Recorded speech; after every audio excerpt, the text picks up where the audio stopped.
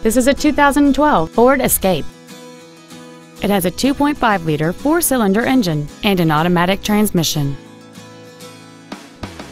Its top features include a multi link rear suspension, a low tire pressure indicator, traction control and stability control systems, aluminum wheels, and satellite radio.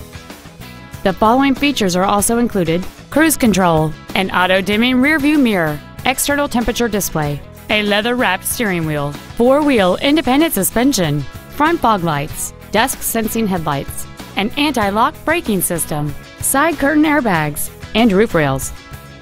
With an EPA estimated rating of 28 miles per gallon on the highway, this automobile pays off in the long run.